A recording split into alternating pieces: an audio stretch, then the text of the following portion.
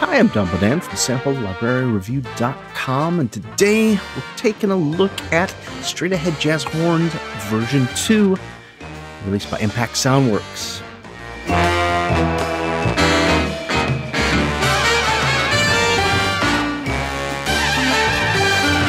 Straight Ahead Jazz Horns downloads as about 23 gigabytes. It's a Kontakt player instrument, meaning it's compatible with both the full and free version of Kontakt 5.5.2 or higher. The library comes with over 75,000 samples, and you've got 16 bit and 24 bit instruments. Straight Ahead Horn sells for $249. I'll be sure to include a link in the description below. I'd love to invite you to join Sample Library Review VIP list. Just head over to samplelibraryreview.com and look for the Join VIP list. That way, we'll be able to send you a little digest every week talking about the new written reviews and videos we publish, as well as some special offers and freebies from our developer friends. We're going to dig into straight ahead jazz horns. I'll show you some of the instruments, but first, let's check out these multis. This is what got me very excited about straight ahead jazz horns. The team over at Impact Soundworks has scripted this pretty crazy and powerful engine, which will allow you to play chords in your left hand and melodies that automatically harmonize from an index of thousands of jazz harmonization voicings.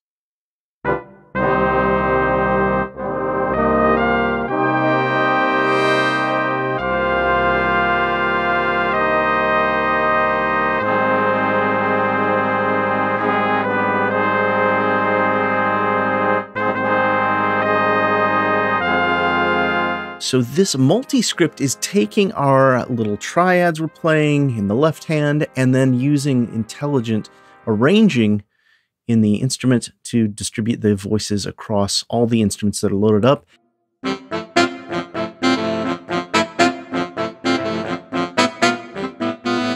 And as you can see, there's six different multis here. Um, you've got with just uh, trumpets, trombones, five sax mix, full ensemble, which is what I was just playing uh, right on the keyboard. That wasn't any programming or MIDI. That was just me playing in real time.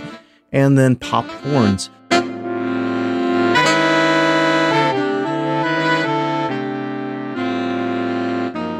Library comes with 13 deep sampled solo instruments. You got trumpets,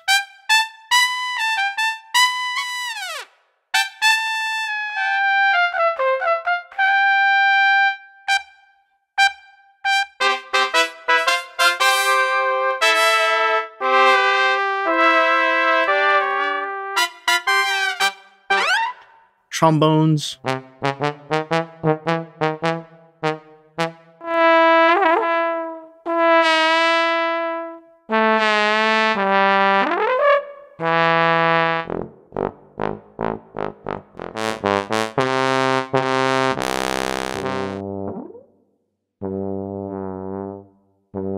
And three different saxophones.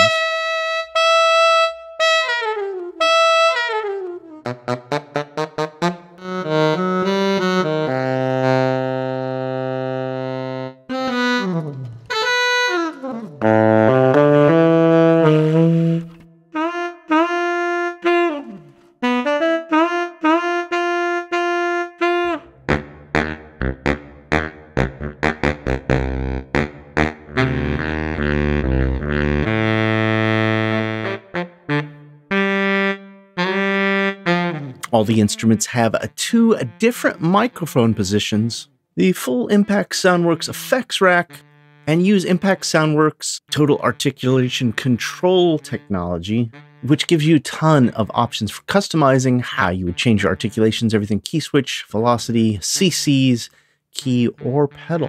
Now, if you want to do a deep dive here, there's an advanced panel, which really lets you start to tweak out these different parameters. So you get the most realism. All of them are able to be MIDI CC learned.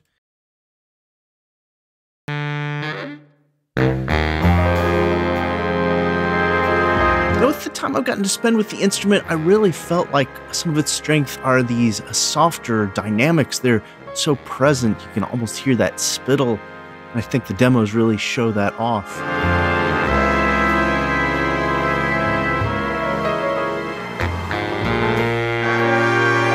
Another pro here is the articulation selection is consistent throughout all of these instruments. It's a very easy to plug and play to just kind of get started. You can poke around with the articulations, get some very realistic playing.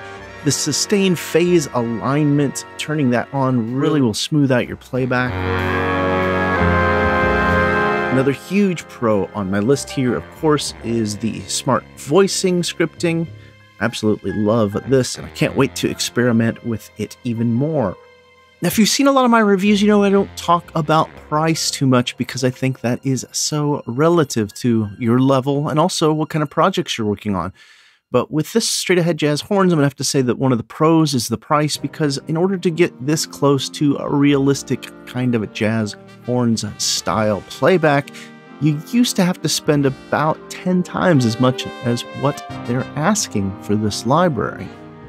There's a couple cons here for me with the library. Number one, it's got a little bit of a learning curve. You're going to have to take some time to learn this articulation switching system. Then you're also going to need to spend a little time to uh, learn how to best utilize and program the smart voicing scripting that they've incorporated into those multis. Now, in the official Impact Soundworks Straight Ahead Jazz Horns video, Andrew Aversa shows off how you could take this multi and actually run it out to other channel strips, meaning that you'd be able to trigger these chord voicings across just about any instrument you have that you could load into your DAW. Now, unfortunately, I am using Logic, which seems to be uh, very difficult to actually do that. After spending about an hour and a half in the environment and searching through different forums, threads, I was still left scratching my head. So if anybody has any step-by-step tutorials or videos on how to send MIDI to the outside world through Kontakt to another MIDI input in Logic, please send me a link. I'd love to figure that out. Which leads me to my last con to close out the review here, and that's that with some of this exciting brass stabs, that Latin kind of feel.